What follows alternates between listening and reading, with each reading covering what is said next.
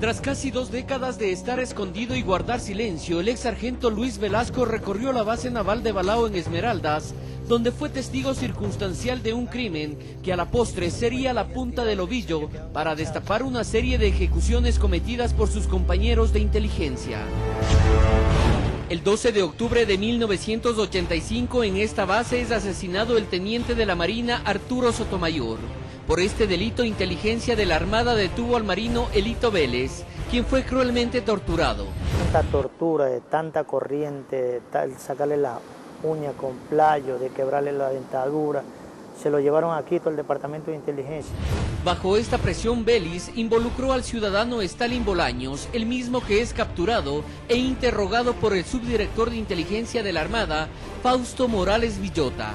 A las pocas horas, Bolaños muere. Lo llevaban como borracho Stalin Bolaños, pero ya muerto para acá atrás. Lo mojaron, le pusieron corriente algunas veces, ahí fue que este tipo se le murió.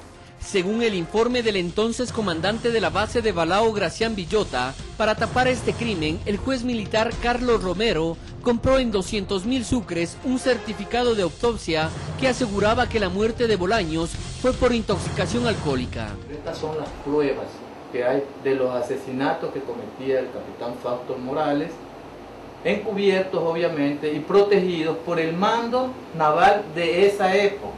Producto de las torturas días después, también el marinero Elito Vélez fallece en Quito.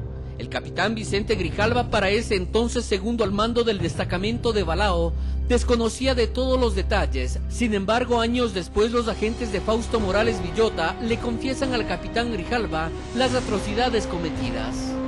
Sacarle las uñas y los dientes con playos.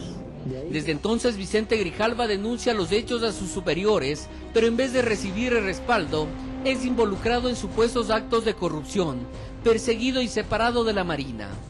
Porque yo entiendo que él está tan comprometido con los mandos que conocieron y que tienen que protegerlo todavía él. Lo siguen protegiendo.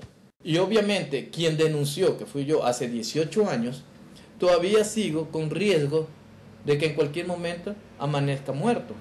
Para 1994, en medio de una investigación del Congreso, estas denuncias permiten determinar que el mismo Fausto Morales Villota fue el autor material del crimen de Consuelo Benavides. Todas estas ejecuciones relacionadas. Esto es un problema de un contrabando de armas que iba a ingresar por Esmeraldas. Eran para Toral Salomea, para que proteja a León Febres Cordero, para tener un brazo armado a León Febres Cordero.